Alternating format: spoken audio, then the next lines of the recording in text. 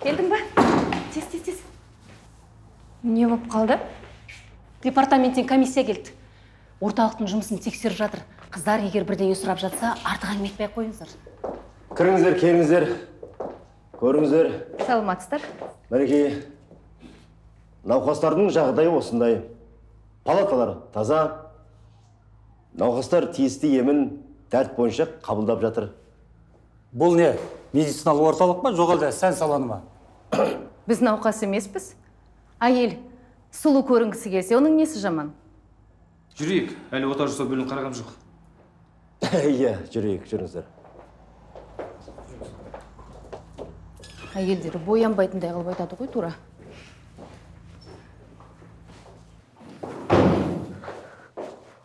Иә қалай болып жатыр?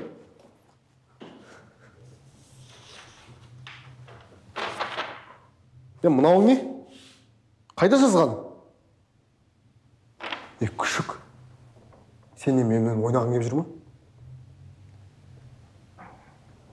кешіріңіз. Сол күні қатты қобалжыдым. Не болып не қойғаны есімде жоқ. Ота жасауға алғаш рет кіргенмін. Бәрін ұмытып қалыппын. Сен бара бер бар. Өзім жазам. Бір сағаттан кейін келіп қолын қойып кет түсіндің ба? Жақсы.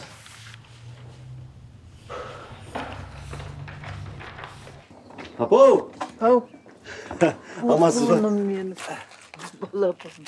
жаным. Қалайсың? Жақсы. Құдай ау неге хабарласып тұрмайсың? Апа мен жұмысымды білесіз ғой. Уақытым болмады. Кеше жаңалықтарды көріп қатты уайымдап қалдық иә апа уайымдайтын ештеңе жоқ жақын күнде бәрі тынышталады күнім абай болшы жаным алтыным менің апа әкем қайда әкеңнің қазуның шар жақта от тұтатып жатыр ой алтыным мен қазір әкеммен сөйлесіп келейін әй батыр ей не үндемейсің ей сен мені сағындың ба а біз сені қатты сағындық қой әке кіруге бола ма? Кел отыр.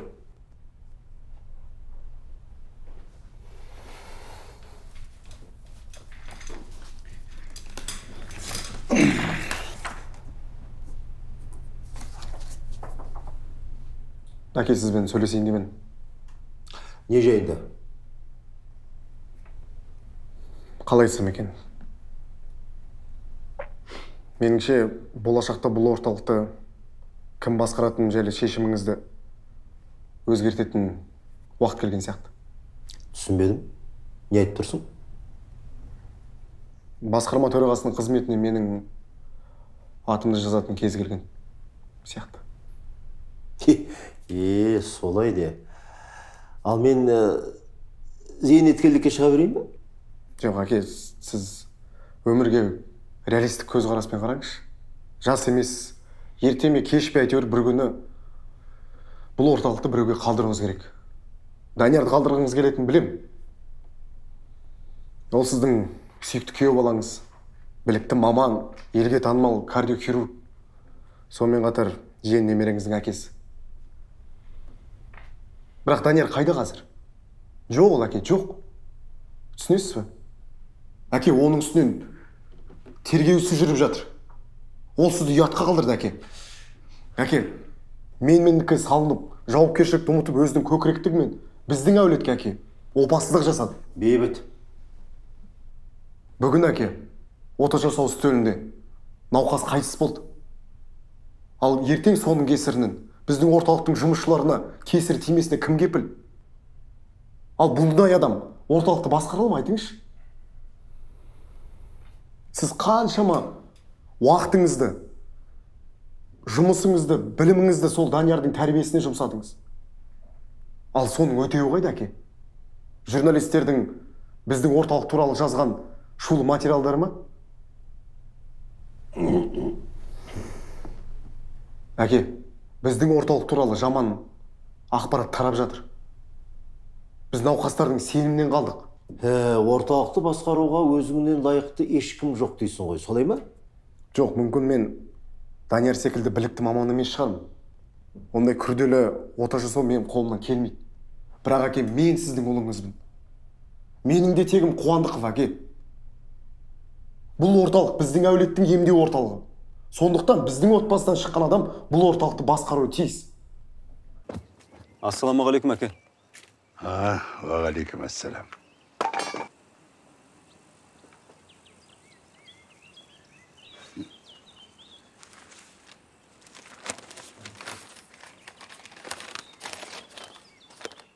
Сен туралы осындай мақала оқимын деп ойламаппын.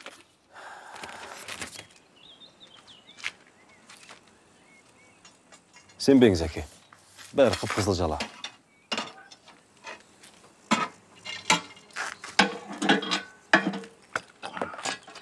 Науқас бір шенеуніктің әйелі болатын.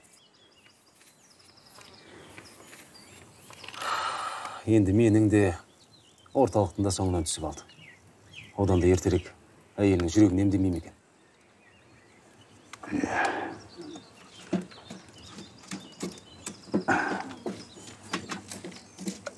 Енді не істемек ойың бар?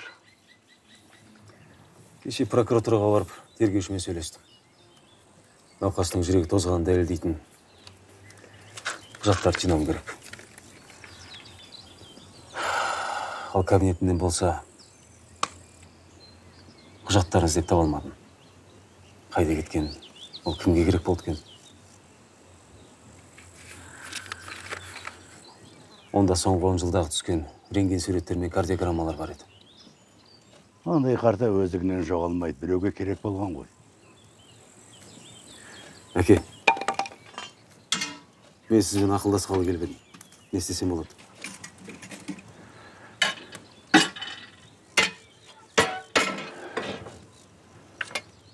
Жалғыздың үні шықпас. Жағдай қиын балам.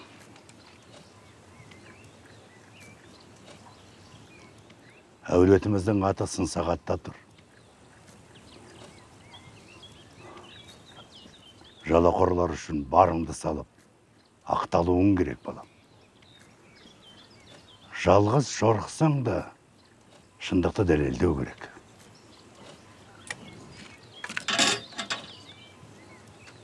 Әке менің кінәсіз екеніме сенесіз бе Оппа! Сенем. Сен өтешевсің. Менің ұлымсың. Мен сенімен мақтанам. рахмет әке Жүр. әулет туралы дер кезінде ойлаған екенсің айтшы балам орталықты басқара аламын деп ойлайсың ба? Бұл саған тек қана құжаттарға қол қойып ә, күн сайын ә, науқастардың бөлмесін аралап шығу емес. Мұнда 200-ден астам қызметкер еңбек етеді. Дәрігерлер санитарлар медбикелер аспаздар жүргізушілер жедел жәрдем қызметінің бірнеше бригадасы бар.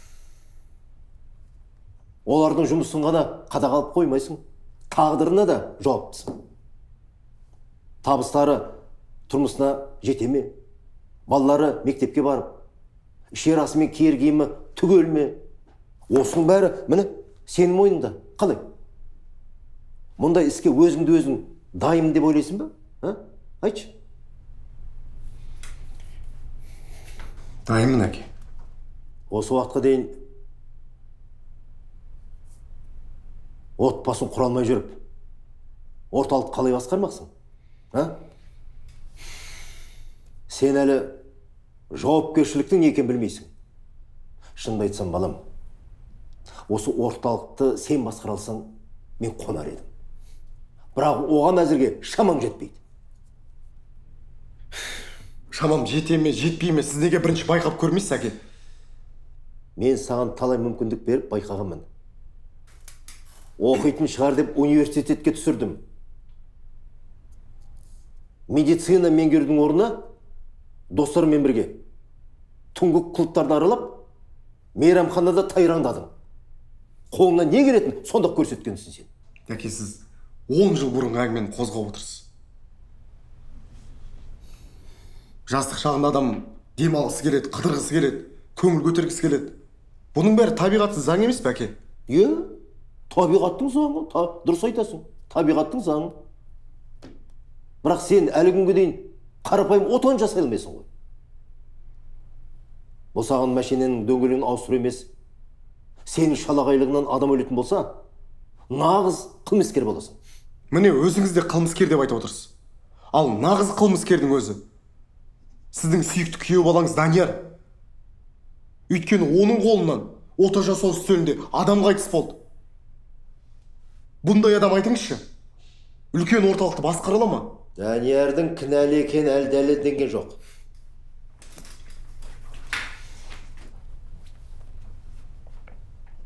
даниярдың кінәлі екенін мен өзім дәлелдеймін әке сіздің сүйікті күйеу балаңыз нағыз өтірікші нағыз сатқынның өзі екенін оның ойында тек қана сіздің орныңызды басып қалу екенін өзім дәлелдеймін жә жарайды оның бәрі уақыттың еншісінде. Мен саған бір рұқсат беремін. Сол уақыттың ішінде орталықты басқаруға лайықты екенің көзім жетсе барлық құжаттарды сенің атыңа рәсімдеймін. Қалай келістік пе? Келістік әке. Бұл жолы сізді ұятқа қалдырмаймын. Уәде беремін. Боссың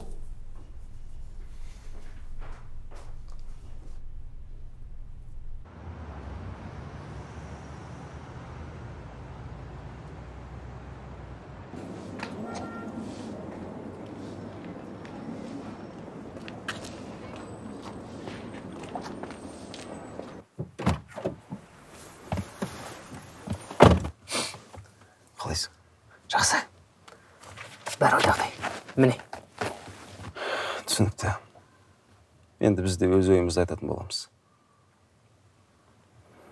жандос сен былай істе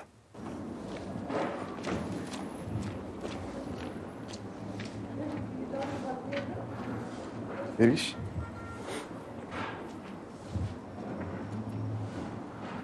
е оңбаған ұры қағаз қайда не істеп жатырсың?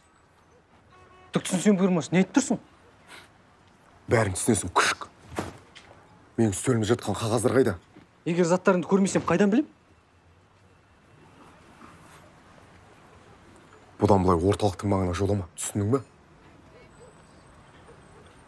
хирург боламын деген арманым көкке ұшырам кіммен жауласып жүргенін білмейді екенсің сен.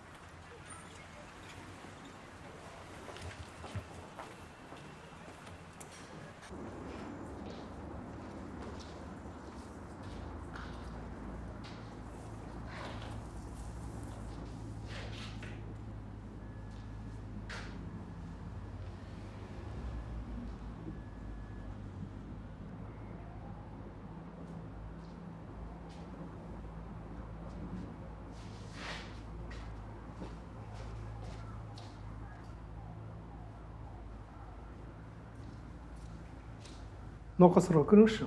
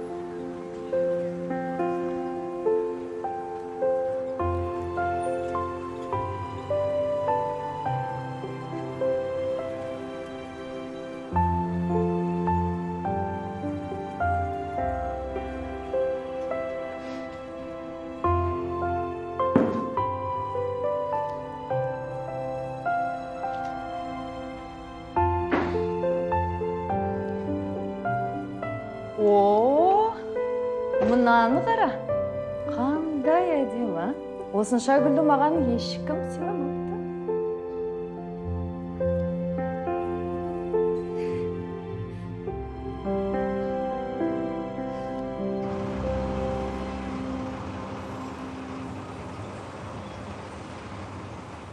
Қуандықтың орталығы не болып жатыр?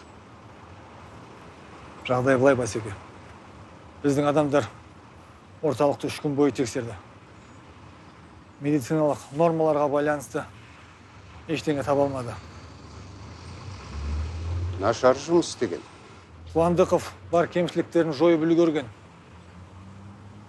біздің адамдардың келетінін білген болар бәрі орында науқастар риза палата мен ота жасау бөлмелері таза қызметкерлік кішіпейіл қысқасы бір мін таба алмадық сен өзі маған қанша жылдан бері қызмет етіп келесің менің көңілімді қалдырмаушы едің ғой. Менің мамандығым қандай екенін білесіз ғой білемін. Ал хирург жігіттің жағдайы қалай? Прокуратурадағы біздің адамдарымыздың айтуы бойынша дәрігердің кінәсін дәлелдеу қиынға түседі. Қызметін асыра пайдаланды немесе өз ісіне салғырттықпен қарады деп кінә арту үшін куәгерлердің айғағы керек. Ал ондай қағазды ешкім жазып бермейді. Кім өз орталығын қаралағысы келеді? Қорқытып та ала алмайсың оларды.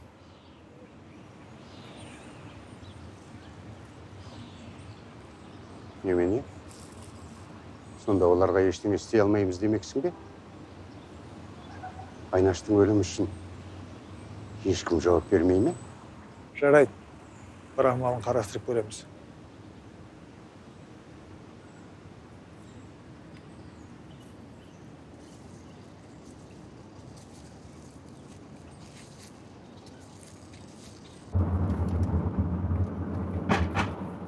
алло А, алло данияр ә, балам амансың ба аман есен өздеріңіз қалайсыздар қалы қалай бәрі жақсы ма үй іші көп жылдан бері былай демалмап едік мына екі күн тамаша өтуде. Ә, көрдің бе? Әр нәрсенің жақсы жағы да бар иә.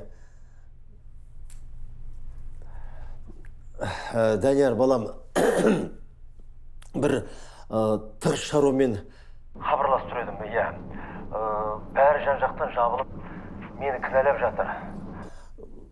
Министрліктегілер саған қатысты шара қолдануды талап етуде. Жағдай өте қиын. түсінікті. Бүкіл орталықтың жұмысына кесірін тигізуі мүмкін. Комиссия тексеріп кетті дайын отырғанбыз. Мін таба алмады иә бірақ саған қатысты мәселе әлі аяқталған жоқ. Аға ертең жиналыс өткізейік. Бірер минут сөз сөйлеуіме рұқсат беріңіз. Барлық сұрақтарға жауап беремін. Жарайды. Ертең таңертең ә, жиналыс өткізіледі деп хабарлайын. Иә. Не істейтініңді білетін шығарсың? Әрине білемін. Сау болыңыз.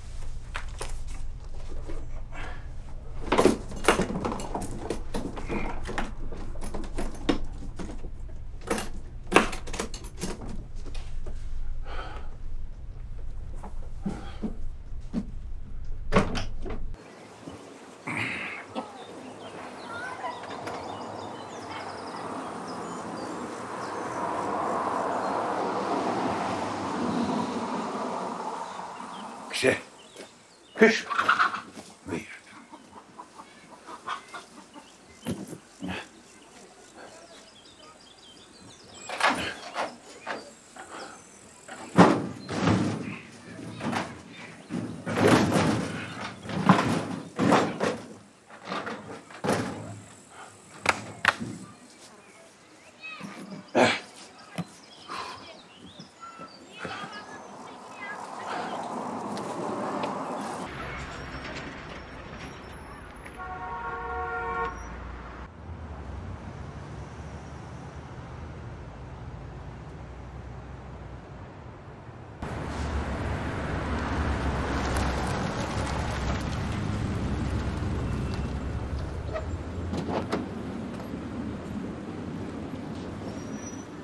ал құрметті әріптестер мен сіздерді данияр өтеушевке қатысты іс бойынша ұжымдық шешім қабылдау үшін шақырып отырмын.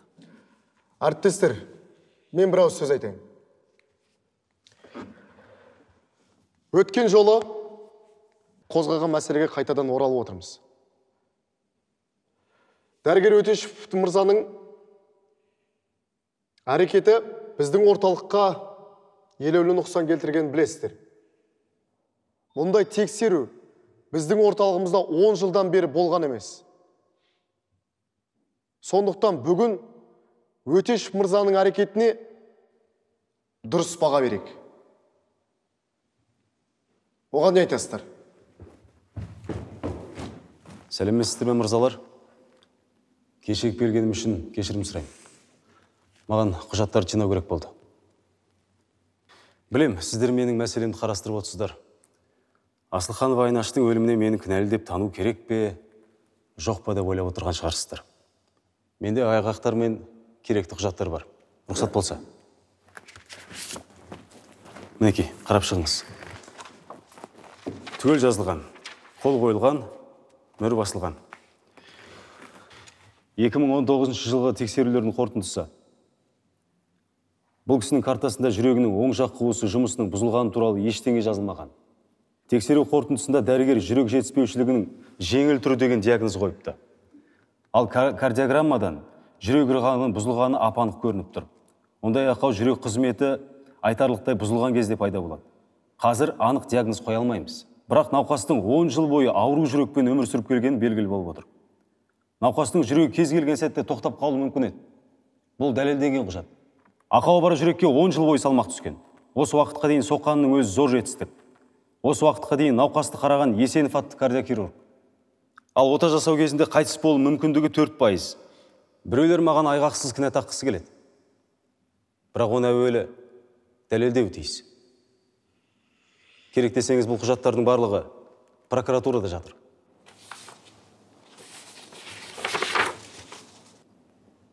Егер де мені толық кінәлі деп мойындаса бүкіл айғақтарым дайын.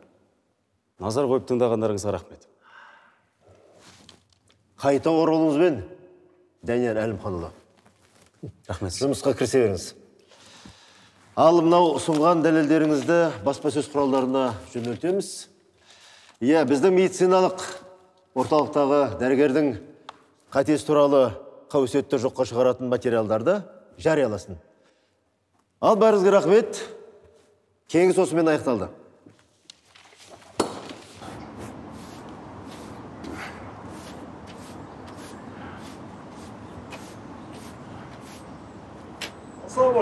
Ассалаумағалейкум уағалейкумассалам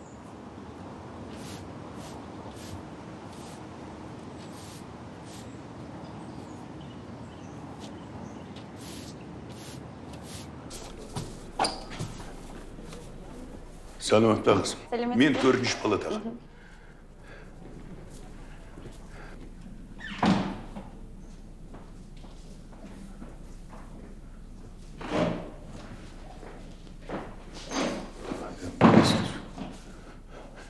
қызым төртінші палата қай жерде ана соңғы палата а, рахмет айнам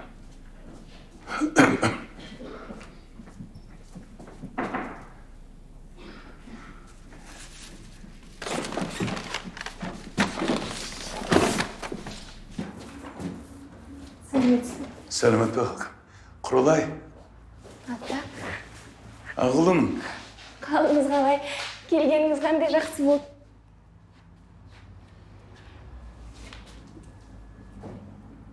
құлыным ау. Мына гүлдердің бәрін кім әкелген? өзім алып келдім Онда мынаны да қосып қой. Бөлмеңіз сәні кіріп тұрсын. рахмет ата онда отырыңыз Иә. Міне.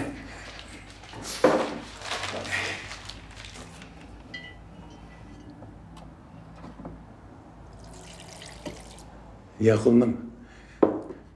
Дәрігер не дейді? оның айтуы бойынша жүрегімде ақау бар екен.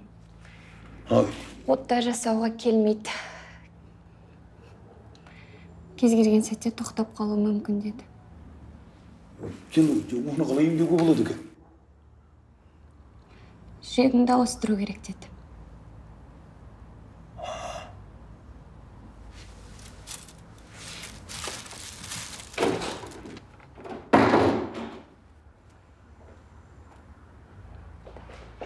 Не істегенсіздер мұнда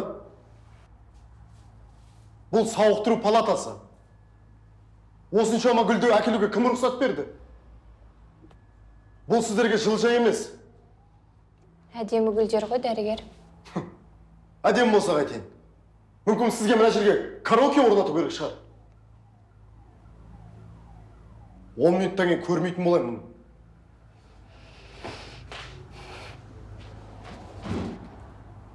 Құрылай. Құлыным қайда кетті? мұныңыз не дәрігер? Науқастарға дөрекі сөйлеуге қандай хақыңыз бар сіздің? Енді мына палатаны не істеп жүргенсіздер? Әй мына қыздың бір айға жетер жетпес өмірі қалды. Не көрді? Әр күні ол үшін бақыт. Ең болмағанда соңғы күндерін қалағанша сүріп бақытты сезінуіне қарсы болмақсыз ба?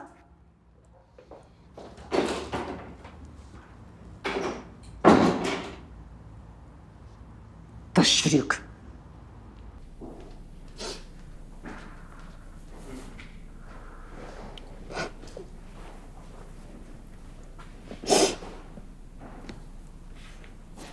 қарындас сізге не болды? Неге жылап отырсыз? Не шаруаңыз бар? Сіз кімсіз? Мен дәрігермін. Есімім данияр өтешев. Солай ма? Иә. Онда неге ақ халат кимегенсіз? А жұмысқа кешігіп қалдым. Үлгермедім. Кешігіп қалдыңыз ба? Иә. Ал науқастар болса сізді күтіп жатқан шығар иә? Науқастарым күтіп отыр. Қысқа мерзімді демалыста болған. Жұмысқа бірінші күн шықтым. Ал? Не болғанын айтып бересіз бе? Тыңдап тұрмын. Менің емдеуші дәрігерім палатадағы гүлдердің бәрін шығарып тастау керек деді. Сондай әдемі гүлдерді қалай шығарам бәрі солып қалады ғой түсінікті ал сіз қай палатада жатасыз төртінші Құрылай. Құрылай. Не болып қалды? Енді олай істемес шығар ем. уайымдамаңыз ата бәрі жақсы мына дәрігер палатадағы гүлдерді қалдыруға көмектесем деді Солай ма? иә әрине көмектесемін. Жүріңіздер. Гүліңізді құтқарайық. Кеттік.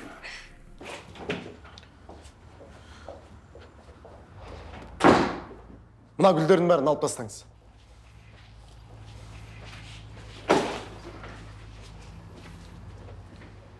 Не болып жатыр мұнда? Әріптес бұл жер гүл базары не болмаса жылыжай емес. Бұл науқастарды сауықтыру орны. Сондықтан даладан әкелген гүлдер бактерия жұқтырып індет таратуы мүмкін. Одан басқа науқастардың жағдайын нашарлайтынын өзіңіз жақсы білесіз. Мен мұндай статистиканы естімеппін. Қалай болған күнде де біз жүрегі ауыратын адамдарды ренжітпеуіміз керек? Сіз мұны мен айтпасам да жақсы білесіз. Айтыңызшы сіздердің гүлдерге аллергияларыңыз жоқ па? Сәлеметсіз бе данияр әлімханұлы? Жоқ. Сәлеметсіз бе? мінекей көрдіңіз бе? Сондықтан да гүлдерді шығарып тастаудың ешқандай да себебі жоқ. Жүріңіз.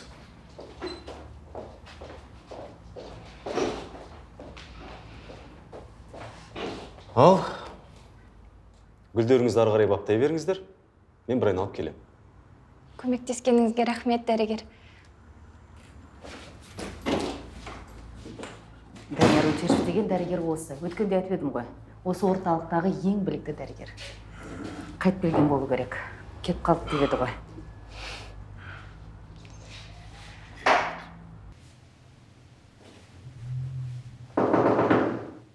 Иә басеке келгеніңізге қуанып тұрмын. Мын мын мын мын мын мын. Қалайсың жақсы. Мәзсің ғой не болды? Иә. Себебі бар ма? Сізге қиянат жасағандарға қайран қалам. Бейбіт үстіңізден арыз жазуға бүкіл ұжым тігеді дейді бірақ ешкім көнбеді. Білем туысқандарында неше түрлісі болады. Жалпы кей адамдар жақсылық түсінбейді. Мейлі өзі білсін. Әйтеуір құтылдым. Ал саған ризамын әріптестерден біраз айғақ жинадым. Соның септігі өте қатты тиді прокуратура енді істі тоқтатуы тиіс. Жарайсың? жоқ не дегеніңіз. Тек дипломдық жұмысыма кесір тиіп кетпесе болғаны. А бейбіт айтқандарымды жасамасаң орталықтан қуып жіберемін деп қорқытты. Солай ма? Иә. Есіңде болсын. Мен осында жүрген кезде саған ешкім тиісе алмайды. Түсіндің ба? Иә.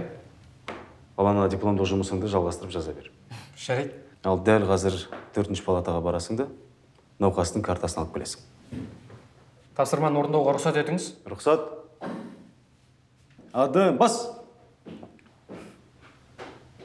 Малика сен естідің ба? Дәрігер өтешев қайтып келіпті.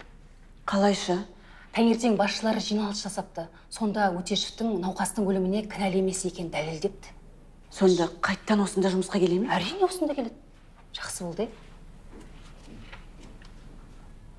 қыздар қалайсыңдар? Сәлеметсіз сәлеметсіз бе данияр әлімханұлы? Сәлем қайта оралуыңызбен рахмет. Сізді қатты уайымдап едік. Әрі сағындық. Уайымдайтын ештеңе жоқ. Бәрі орнында малика мен жоқта менің кабинетіме біреу кірмеп пе еді? Жоқ кірмеді. Тек сіздің практикантыңыз жандос қана кірген. Сіз бір заттарды алып кел деп тапсырды деді ғой. Мхм. Түсінікті. Ал одан басқа ше ешкім кірмеді. Жақсы. Сағындық сағындық әрине сағындық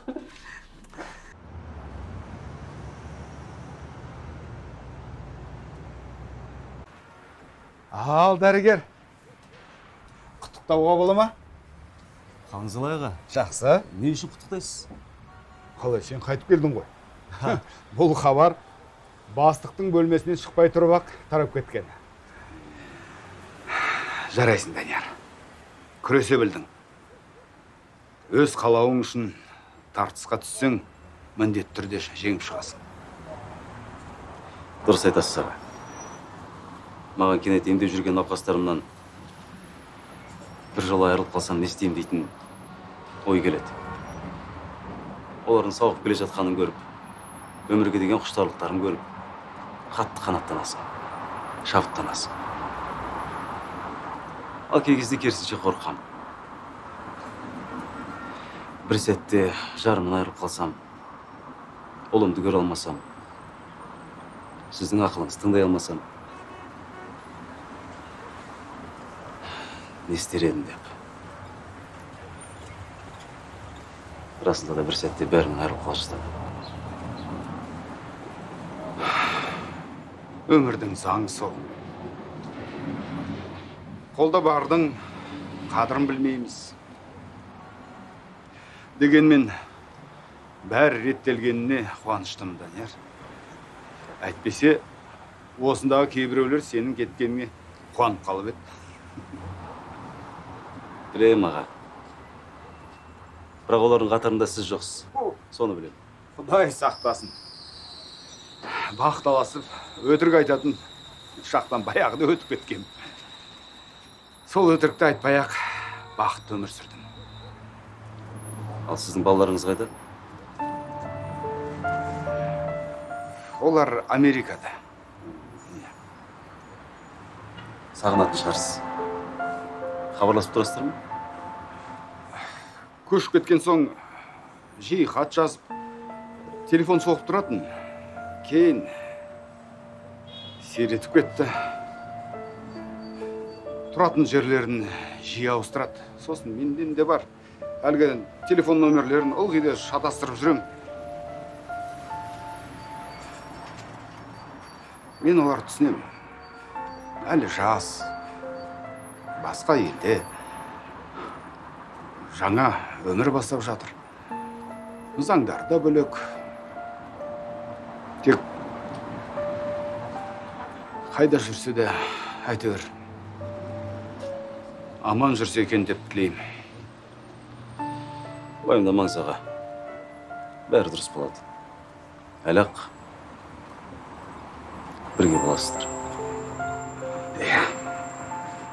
Рахмет. Өзің абай бол балам. Қасыңда кімдер жүргенін бақ. Бетіңе күліп сыртыңнан пышақ сұғатындар бар. Сатқындықтан артық жүректе ештеңе жаралай алмайды. Ал оның жарасы ешқашан жазылып бітпейді мәңгі сыздап тұрады. Оны ештеңемен емдей алмайсың. Дұрыс айтасыз. Осының өзі маған үлкен сабақ болды кімнің кім екенін түсіне бастадым бір түйгенім өзіңнің жақындарың үшін отбасың үшін бақытың үшін соңына дейін күресе білу керек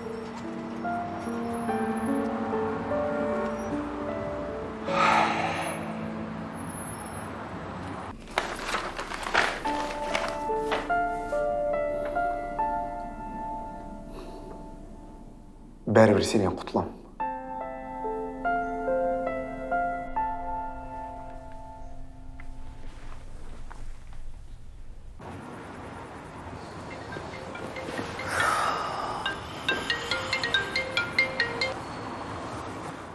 алло иә жаным жаным не болып жатыр? Уайымдап отырмын. Орталықта не болды? Алаңдайтын еш нәрсе жоқ. Бәрі дұрыс. Мен өзімдікін дәлелдеп шықтым. Құдайға шүкір. Солай болатынына сенгем үйге қашан келесің? Мен жұмысқа қайта шықтым. Енді әдеттегі уақытта келетін боламын. Мұныңа қуанайын ба жоқ па білмей тұрмын. Сен өзгермейтін шығарсың. Мүмкін сол мінезің үшін де сүйетін шығармын сені айтпақшы мен жұмыстан шыққан соң жаттығу залына барамын адамды спорттан артық сергітетін нәрсе жоқ. Жақсы. Абай бол. Иә. Сосын мен сені жақсы көремін. Мен де сені сүйемін.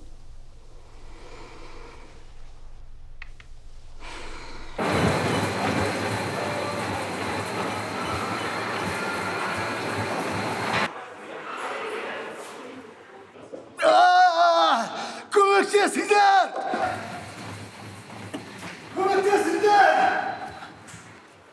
Жігіттер тимеңдер тоқта тоқта тоқта тоқта қойыңдар қайтадан қойыңдар кеудесіне зақым келген сияқты бір бірлеп шешіңдер қане абайла жылжыт ары жылжыт қане екіншісін бер қолыңызбен ұстаңыз былай қаралып кет Аха, қай жеріңіз ауырып тұр а? Тынысым тарылып барады қазір қазір қазір сәл шыдаңыз